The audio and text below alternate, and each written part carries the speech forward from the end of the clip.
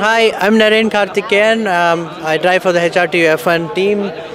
Um, obviously, you know, Suzuka has a lot of heritage on Japanese motorsport, and uh, the 50th anniversary is very special to everyone, all the drivers. Um, my first, my first experience of Suzuka was uh, when I drove uh, in Formula Nippon here in uh, 10 years ago, and um, and obviously uh, Japan has a lot of good infrastructure for motorsport. Love very some good circuits and uh, Suzuka being the best of the lot. And for young drivers, it's a great place to uh, hone the skills. And um, yeah, I'm very very happy that the um Japanese fans um, you know enjoy motorsport a lot and support Formula One. And um, yeah, that's about it. Thank you.